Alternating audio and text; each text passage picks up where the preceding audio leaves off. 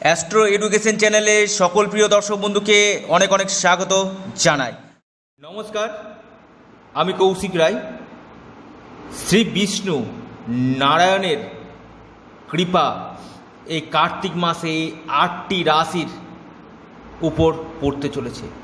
অর্থাৎ আপনাদের মনস্কামনা পূরণ হবে।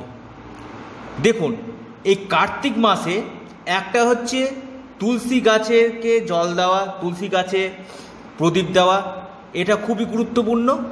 এবং দুই নম্বর হচ্ছে স্বয়ং বিষ্ণু নারায়ণের উপাসনা করা।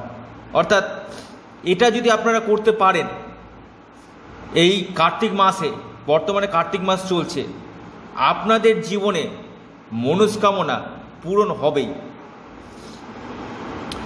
তবে আপনাদেরকে আমি একটা কথা জানাই, দেখুন, এই যে আমাদের জন্ম এবং প্রতিপালন এবং অবশেষে মৃত্যু, এই তিনটি কিন্তু বিধাতার হাতে। অর্থাৎ এই সৃষ্টি থেকে, সৃষ্টি হচ্ছে ব্রহ্মা। এই যে প্রতিপালন, অর্থাৎ জীব, জন্তু, মানুষ, সবারই যে প্রতিপালন এটি হচ্ছে স্বয়ং বিষ্ণু, অর্থাৎ নারায়ণের এবং এই যে অবশেষে মৃত্যু, এটি হচ্ছে দেবাদিদেব মহাদেব শিবের হাতে। অর্থাৎ আপনারা যদি কার্তিক মাসে বিশেষ কিছু ক্রিয়া যদি আপনারা করতে পারেন, তাতে কিন্তু আপনারা ভগবান বিষ্ণুর কৃপা পাবেনই পাবেন। প্রথম কথা আপনাদেরকে জানাই, এই মাসে এই কার্তিক মাসটা খুবই ইম্পর্টেন্ট এবং খুবই গুরুত্বপূর্ণ মাস। অর্থাৎ এই মাসটাতে আপনারা নারায়ণের উপাসনা করলে, অর্থাৎ একসঙ্গে করতে হবে, লক্ষ্মী এবং নারায়ণ এর একসঙ্গে উপাসনা কিন্তু করতে হবে। প্রতিদিন যদি আপনারা করতে পারেন, তাতে কিন্তু বিশেষ লাভ কিন্তু পাবেন। এই বিষ্ণুর হাতে কি থাকে? শঙ্খ, পদ্ম গদা এইটা কিন্তু বিষ্ণুর হাতে কিন্তু থাকে। অর্থাৎ, আপনারা যদি প্রতি বৃহস্পতিবার বিষ্ণু সহস্র নাম পাঠ করতে পারেন, স্বামী স্ত্রী একসঙ্গে বসে, তাতে খুবই ভালো হবে। এবং প্রতিদিন যদি আপনারা বিষ্ণুর মন্দিরে বা কোনো দেবালয়ে ঘিয়ের প্রদীপ যদি এই কার্তিক মাসে যদি আপনারা দিতে পারেন, আপনাদের বহু জন্মের পাপ এবং এই জন্মের পাপও কিন্তু নাশ হবে। এবং যেহেতু এই বিষ্ণু শালগ্রাম শিলায় পূজা হয়, এই জন্য আপনারা যদি এই কার্তিক মাসে বিষ্ণুর উপাসনা বাড়িতেও যদি করতে পারেন, লক্ষ্মী এবং নারায়ণ দুজনকে একসঙ্গে কারণ তাতে কিন্তু আপনাদের যেমন আপনাদের শক্তি আসবে, তেমনি আপনাদের মনস্কামনা কিন্তু পূরণ হবে।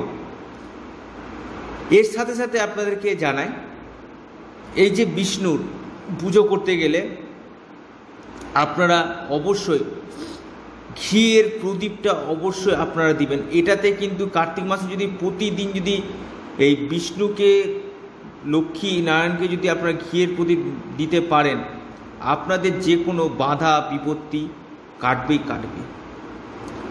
এবং আপনাদের জীবনে আসবে পসপারিটি আর্থিক দিক থেকে আপনারা যথেষ্ট সম্পন্নতা লাভ করবেন। এবং সাত্ত্বিকভাবে সাত্ত্বিক আহার কিন্তু গ্রহণ করতে হবে। তো কোন এই আটটি রাশি? আমি এই বিষয় নিয়ে আরও আপনাদেরকে ভিডিও দিব।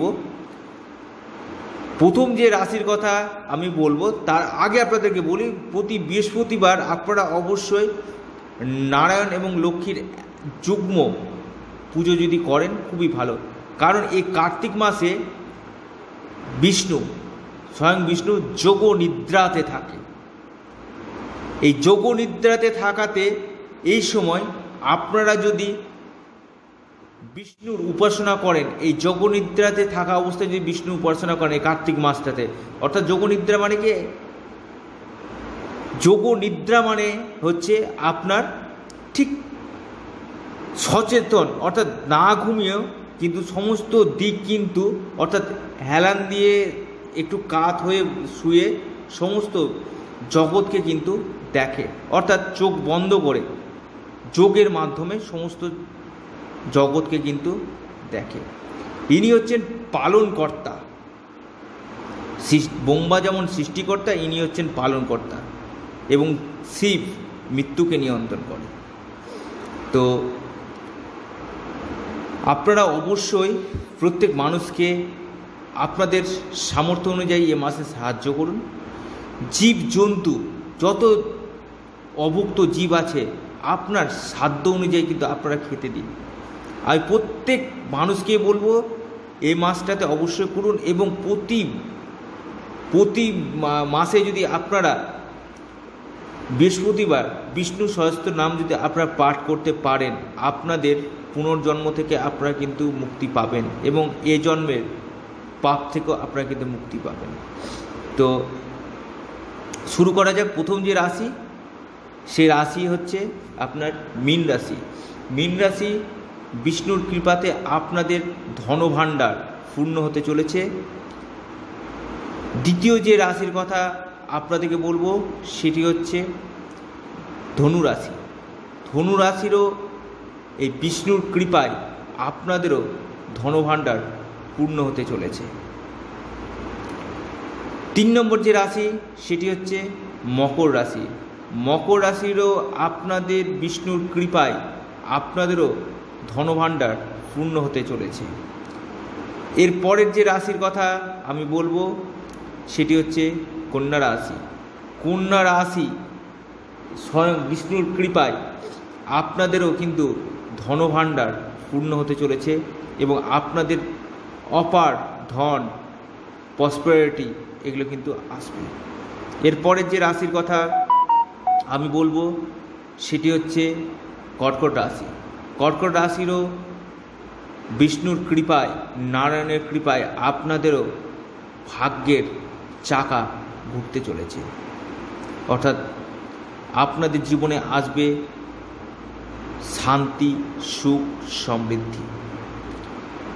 এর পরের যে রাশির কথা আমি বলব, সেটি হচ্ছে বৃষ রাশি বৃষ রাশিরও কিন্তু স্বয়ং বিষ্ণুর কৃপায় কার্তিক মাসে এবং যে নিয়মগুলো বললাম এই নিয়মে যদি আপনারা পুজো করতে পারেন, সেক্ষেত্রে কিন্তু আপনারা স্বয়ং বিষ্ণুর কিন্তু কৃপা আপনারা পাবেনই পাবেন। এরপরের যে রাশির কথা আমি বলব, সেটা হচ্ছে মেষ রাশি। মেষ রাশিরও স্বয়ং বিষ্ণুর কৃপায় আপনাদের জীবনেও আসতে চলেছে অপার ধন, সুখ, বৈভব শান্তি, সন্তান প্রাপ্তি, এই জায়গাগুলো কিন্তু আপনাদেরও কিন্তু হতে চলেছে। এর সাথে সাথে শেষ যে রাশি সেটি হচ্ছে তুলা রাশি।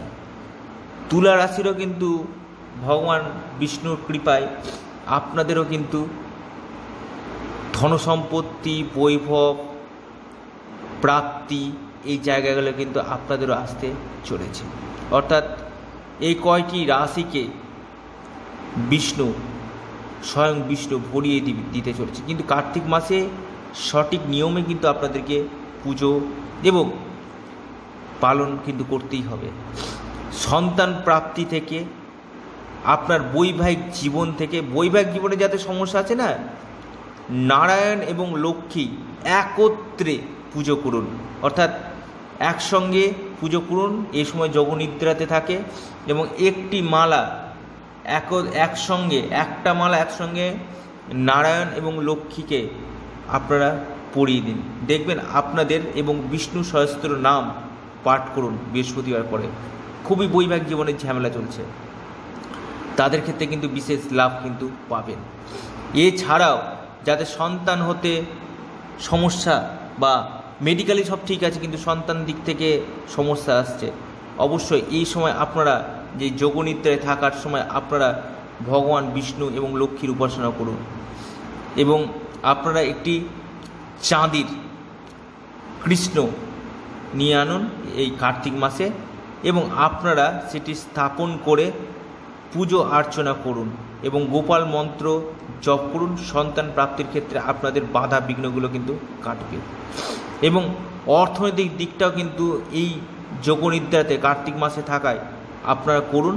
দেখবেন অর্থনৈতিক দিক, কর্মের দিক, ব্যবসার দিক, চাকরির দিক সেলফ প্রফেশনের দিক, এগুলো কিন্তু সমস্ত মানে আপনাদের বন্ধ হওয়া রাস্তাগুলো কিন্তু আপনাদের খুলে যাবে। কিছু কিছু ক্ষেত্রে কুম্ভ রাশিরও কিন্তু স্বয়ং বিষ্ণুর কৃপা কিন্তু আপনাদের থাকছে। আপনারাও কিন্তু বিষ্ণুর কৃপাতে আপনাদেরও ভাগ্য কিন্তু চমকাবে। এই সময় কার্তিক মাসে অবশ্যই আপনার তুলসী গাছের তলায় একটা করে অন্তত সন্ধেবেলায় প্রদীপ অন্তত দেন, ঘিয়ের প্রদীপ। এবং প্রতিদিন তুলসী গাছকে জল দেওয়া, দেখাশোনা করুন।